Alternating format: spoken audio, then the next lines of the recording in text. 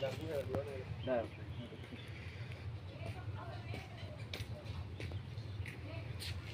Chưa? Ừ, mình tóc hôm nay á.